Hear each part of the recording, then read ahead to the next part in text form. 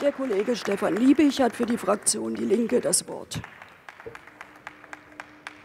Frau Präsidentin, sehr geehrte Damen und Herren! Der Grenzvertrag, der Vertrag über gute Nachbarschaft und freundschaftliche Zusammenarbeit, äh, ist seit 20 Jahren Grundlage für partnerschaftliche Zusammenarbeit zwischen Deutschland und Polen. Und ja, die Unterzeichnung ist ein Ereignis von historischer Bedeutung. Und ich finde es richtig, dies durch die Debatte hier zu unterstreichen. Allerdings, und das kann ich Ihnen nicht ersparen, es wäre sicherlich auch möglich gewesen, äh, gemeinsame Positionen zu formulieren. Auf unseren Beitrag haben Sie wegen der Albernheiten der CDU-CSU wieder verzichtet. Wie üblich haben sich SPD und Bündnis 90 Die Grüne darauf eingelassen. Dabei hätten wir durchaus einiges einzubringen gehabt. Das werde ich jetzt natürlich mündlich tun. Zum Beispiel das Thema Oder-Partnerschaft. Seit 2006 arbeiten die Länder Berlin, Brandenburg, Mecklenburg-Vorpommern und Sachsen mit den westpolnischen Wojewodschaften Großpolen, Westpommern, Niederschlesien und Lubuskie unter dem Motto Grenzen trennen, die Oder verbindet zusammen. Das Ziel ist der Aufbau eines leistungsfähigen Regionalverbundes diesseits und jenseits der Oder für infrastrukturelle und politische Vernetzung, für einen kooperierenden, dynamischen Wirtschaftsraum. Und der Wirtschaftssenator Harald Wolf aus Berlin und der Wirtschaftsminister Ralf Christophers aus Brandenburg, Sie ahnen es, beide Mitglieder unserer Partei Die Linke, sind hierbei aktive Motoren. Das ist zukunftsorientierte deutsch-polnische Zusammenarbeit. Sie haben uns durch Ihre Ausgrenzung natürlich auch zu Kritik eingeladen, und dem komme ich gerne nach. Und ich möchte hier auf Herrn Wellmann Bezug nehmen. Herr Wellmann, Sie haben mich ja angesprochen wegen Erich Honecker und der SED. Ich war tatsächlich nicht in der SED, und das hat, das gebe ich zu, nur Altersgründe. Aber Sie haben natürlich in der Sache, in der Sache völlig recht. Sie haben in der Sache völlig recht, denn äh, natürlich war es falsch und unrecht, dass der Warschauer Vertrag die Solidarność-Bewegung bedroht hat. Und es ist völlig richtig, das hier zu erwähnen. Wenn Sie nicht so schreien würden, würden Sie meine inhaltlichen Positionen dazu auch verstehen. Zum Zweiten. Der Kollege Nitan hat auf die Ambivalenzen der Geschichte hingewiesen. Und da kann ich Ihnen von der CDU-CSU natürlich nicht ersparen, auf die eigenen Ambivalenzen in der deutsch-polnischen Geschichte äh, zu schauen. Sie haben in Ihrem Antrag versäumt zu erwähnen, dass es die DDR war, die im Görlitzer Vertrag von 1950 ihre Staatsgrenze zu Polen anerkannt hat und dass das damals im Deutschen Bundestag von allen Parteien außer der KPD heftig, heftig kritisiert wurde.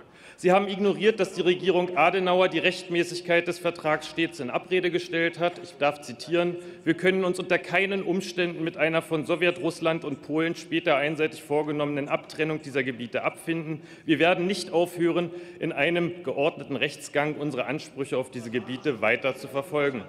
CDU und CSU sind sogar noch dabei geblieben, als die Regierung Brandt-Scheel 1970 im Warschauer Vertrag den Status quo und damit die Oder-Neiße-Grenze faktisch anerkannt hat. Ich halte dies, das will ich der SPD auch sagen, für die größte außenpolitische Leistung der SPD im 20. Jahrhundert. Aber wir müssen gar nicht so weit zurückschauen. Es geht ja heute um den 20. Jahrestag. Schauen wir 20 Jahre zurück, Herr Wellmann. Der polnische Ministerpräsident Mazowiecki hat in einem Schreiben vom 31. Januar 1990 von Kanzler Kohl eine Grenzgarantie verlangt. Er hat sie nicht bekommen. Helmut Kohl lag Europa sehr am Herzen, aber er hatte große Schwierigkeiten in Ihrer Fraktion, in Ihrer Partei. 23 Abgeordnete Ihrer Partei, darunter Erika Steinbach und der heutige Bundesverkehrsminister, haben dem Vertrag damals nicht zugestimmt weil sie die berechtigten Anliegen der deutschen Heimatvertriebenen nicht geregelt sahen, weil sie die ökonomische Regelung von offen gebliebenen Eigentums- und Vermögensfragen vermisst haben. Damals in der sensiblen Phase der deutschen Vereinigung Rechnungen zu schreiben, statt an Versöhnung und gute Nachbarschaft zu denken, darauf musste man erst mal kommen. Und unsere Partei, die PDS, hat dem damals aus tiefer innerer Überzeugung und geschlossen zugestimmt. Und deshalb finde ich es heute auch ein guter Anlass, an diesen Vertrag zu erinnern. Aber Sie dürfen dabei Ihre eigene Geschichte nicht ausblenden. Ich denke, dass wir auch noch einiges zu tun haben, was die Zukunft betrifft. Es gibt nach wie vor Entschädigungsforderungen von Polinnen und Polen, ehemaligen Opfern deutscher Besatzung. Hier können wir etwas machen. Mich äh, stört schon etwas, dass Sie hier in diesem gemeinsamen Antrag von Rot-Grün und Schwarz-Gelb beschließen, die Heimatvertriebenen haben sich bei der Pflege des gemeinsamen kulturellen Erbes engagierten Kontakt nach Polen geknüpft. Zweifellos haben sie das, natürlich. Aber nicht nur das. Da müssen wir auch nicht so weit zurückschauen. Es war der Anfang dieser Legislaturperiode, als Schwarz-Gelb kaum die Rolle des, der Vertriebenen im Stiftungsrat Flucht, Vertreibung und Versöhnung aufgewertet hat, um die Mitgliedschaft von Frau Steinbach zu verhindern. Da hat sie sich mit einer Beleidigung des polnischen Regierungsberaters Bartoszewski bedankt und über die Mobilmachung der Polen 1939 vor dem deutschen Überfall sinniert. Ich glaube, auch das sind Punkte, die nach wie vor das Misstrauen vieler Polinnen und Polen begründet. Und ich glaube, hier liegt auch ein bisschen das Problem, dass die Polen ihre Garanten für ihre Sicherheit eher in den Vereinigten Staaten sehen als in Europa, was ich durchaus kritisch sehe. Stichwort altes Europa, eine Diskussion, die wir alle vor ein paar Jahren zur Kenntnis nehmen mussten. Ich möchte nach vorn schauen, Kollege die gute Liebig, Nachbarschaft. Sie bitte auf das Signal.